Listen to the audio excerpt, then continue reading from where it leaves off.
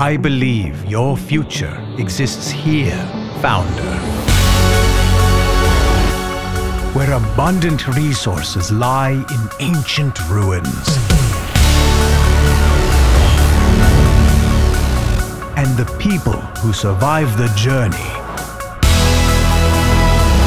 toil for us like we are their gods. Build us a city, Founder. We can all profit from this future. On Titan.